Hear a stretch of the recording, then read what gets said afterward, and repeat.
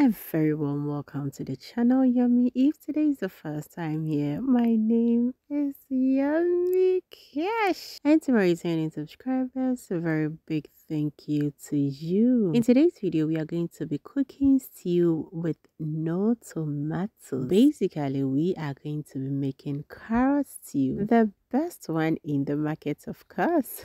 you are going to love the outcome. This is the third time I'm making carrot stew in this house and this particular carrot stew was enjoyed by everybody.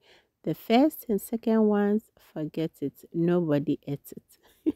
you want to know the reason why nobody ate it? Well, I will definitely tell you. so I start by cutting the carrots into small pieces. I'm not going to be using a lot of carrots in this recipe. Also, I'll be adding in some paprikas and note that I've already washed the paprika and the carrots. I take out the seeds and then add the main paprika flesh or the main food to the pan containing the carrots. So I'll be making use of two paprikas in this recipe. So the next thing is the onions. I'm taking about two or three onions for this recipe. I remove the skin of it and add it to the pan containing the carrots and the paprikas. Now add a little bit of water to it.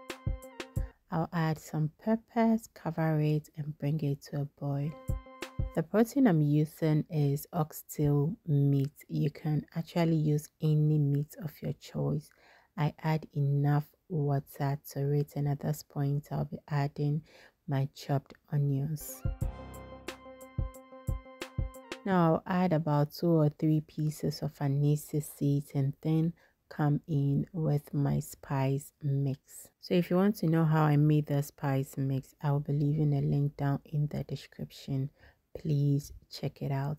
I add in a little bit of salt and then some garlic powder cover it and bring it to a boil now the next thing is to blend some gingers garlics and i'm going to be adding in rosemary and anise seeds I don't know whether I already mentioned it, but I'll add some gingers to it, add a little bit of water, and then blend it.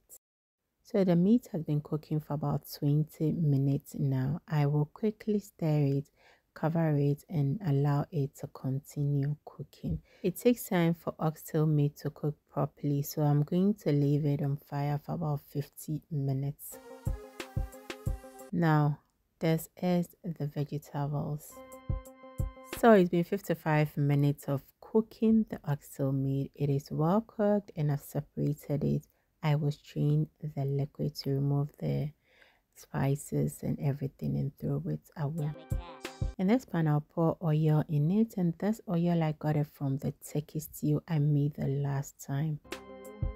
I'm going to fry some onions in it for about 10 minutes or till the onions are well fried. This is to remove any unpleasant scent that is present in the oil. I will take all the fried onions out and add more of the oil.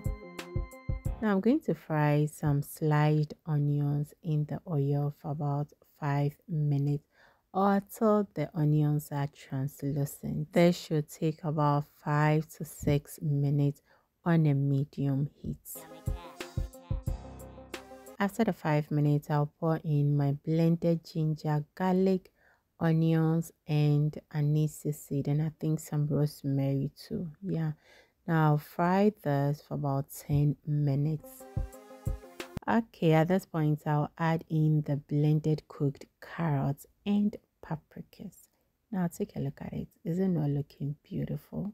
Mm -hmm. Now I'm going to stir this very well so the carrots is well blended with the blended onions.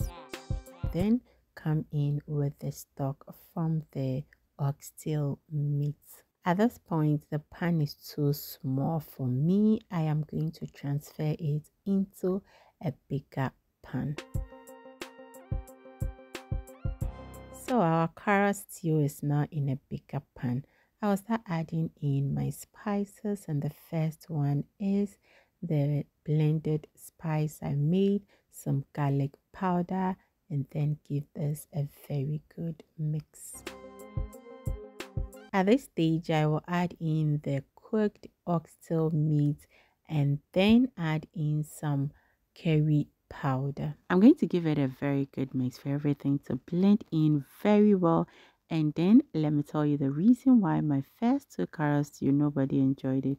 The first one I used only carrots to make the stew. The stew became very very thick and very very sweet if i say sweet i mean the stew was tasting like i added a lot of sugar to it and the second time i did not cook the carrots before adding it i mean using it to make my carrot stew so basically i think that's the reason why those two times my carrot stew did not come out perfect. So our carrot stew is done and trust me this tasted super good. Everybody loved it and myself I loved it.